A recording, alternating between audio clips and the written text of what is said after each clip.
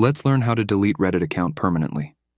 Whatever is the reason you want to delete it, maybe you have multiple accounts and want to get rid of unnecessary ones, or you don't like the current one, want to forget some stuff.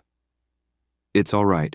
I will show you how you can delete your account. First, let's start by opening your Reddit app on your iOS or Android device.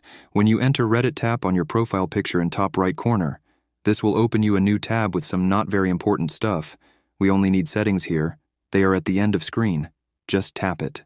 And now new settings page will be opened with bunch of options. Scroll down at the end of the page until you find red mark delete account button. Click it. Now new pop-up will appear. I will tap on learn more first so we can see what will Reddit actually do to your again.